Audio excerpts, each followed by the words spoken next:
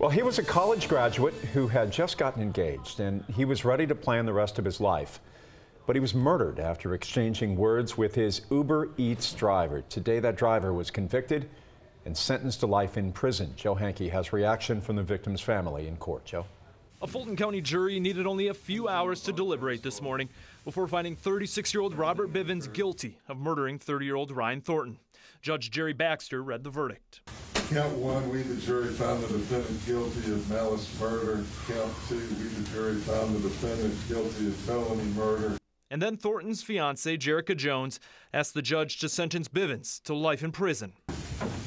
He took a lifetime from me. He took a future family, future grandchildren, a provider, a protector. He took my best friend and he took my brother.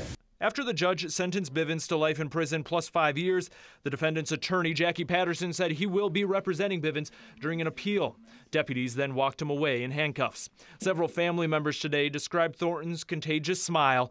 He was the son of a retired police officer, a recent Morehouse graduate, and had been accepted to West Point. On a painful day filled with justice, Thornton's mother, a high school principal, beamed with pride for her son. The greatest thing I've ever done in my life was to be Ryan's mother. and uh, I claim that to the world. During the trial, prosecutors took the jury back to the night of February 17th. As Thornton and Jones mourned the death of her late father, who they cremated earlier that day, the couple ordered food through Uber Eats.